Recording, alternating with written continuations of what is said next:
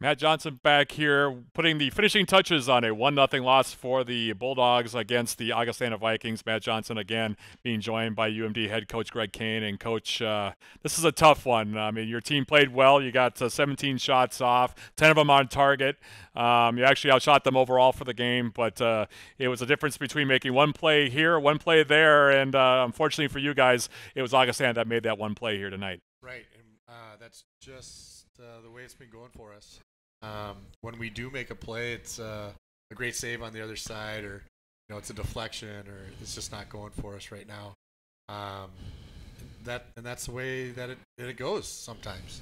Well, and, you know, you guys in that first 10 minutes of the game are really all over them. I mean, you oh. create so many opportunities, and, and we were kind of thinking that me and uh, my color man, Jerry Ostrom, we were thinking that you guys were going to break through right away, yeah. and yeah. it just didn't happen for you. Yeah, I was so impressed with our team right off the start. The, the energy, the spirit was high, and um, you know, we were just on it and getting the balls first and, um, you know, getting balls to players in dangerous areas and players, you know, making 1v1 plays.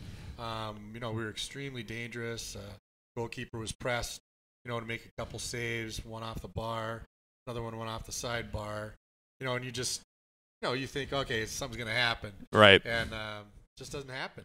Uh, it's, it's, just the way it is right now for us. It's tough. And that's, uh, sometimes it just just comes down to that. I mean, you, there's nothing else you can really tell your team other than to just keep yeah. plugging away, and hopefully that goal will come. Yeah, that's what I told the team at the end of the game. I said, "Look, I don't have an answer for you, um, but I do know a couple of things. One, um, you know, he played extremely well uh, tonight for large portions of the game.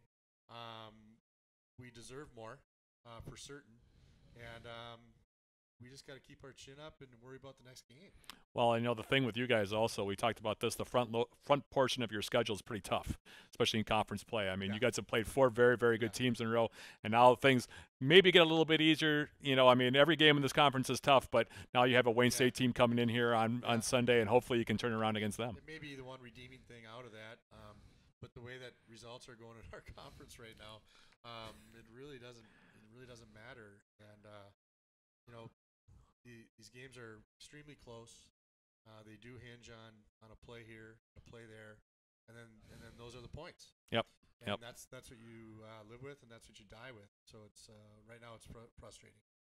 So that's the story here. Unfortunately for Malosky Stadium, the Bulldogs falling to Augustana. Final score here, 1 nothing. Up next for UMD, they will be hosting Wayne State right here at Malosky Stadium. 12 noon, the opening kickoff of that contest. Myself and Jerry Ostrom will be on with the pregame starting at 1245. So thank you, Coach Kane, and hopefully better look on Sunday.